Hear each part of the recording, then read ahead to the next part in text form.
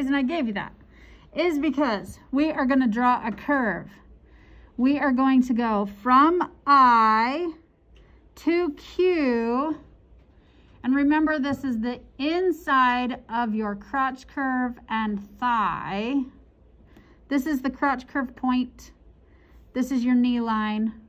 If you think about a pair of pants, this is a, a very subtle curve.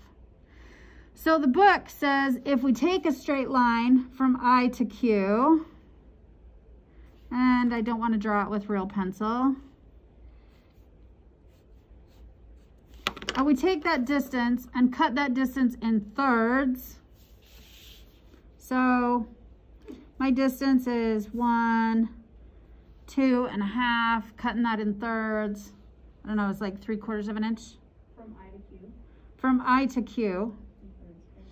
So on the first third down, you're to shift in like a quarter of an inch. That is your proportionate curve. You're to start at I, you're to hit that, and then curve back down to Q. Just in a nice, pretty,